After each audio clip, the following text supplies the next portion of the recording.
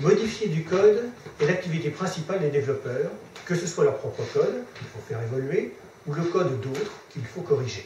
Mais pour modifier, pour étendre, pour corriger, il faut savoir lire du code.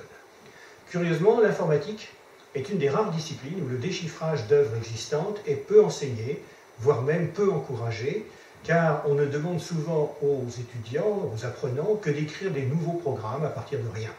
Pourtant, les bonnes pratiques ne s'apprennent que par la lecture, l'écriture et l'assimilation de multiples codes écrits dans de multiples langages.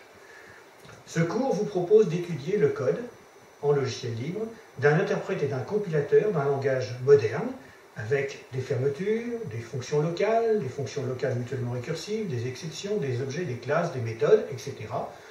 D'une taille raisonnable, puisqu'il fait 10 000 lignes de Java environ associées à 2000 lignes de C, et on vous propose de modifier ce code afin de l'améliorer ou d'étendre le langage interprété ou compilé. Tout ce code est sur GitHub que ce cours utilisera sous de multiples manières. Des exercices de modification ou d'extension de ces codes, tant en Java qu'en C, vous seront proposés toutes les semaines. Et il sera utile de travailler ces nano-projets en petits groupes. Le rendu s'effectuera sous la forme d'apport de nouveaux codes à la souche existante sur GitHub et fera l'objet d'une revue de code par un autre groupe.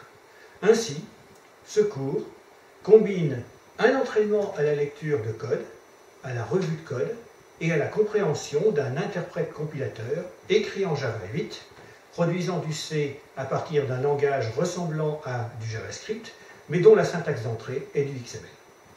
Bon courage